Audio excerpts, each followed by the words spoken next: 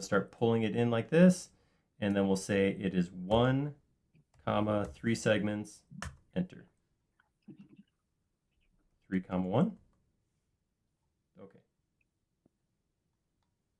And there we go.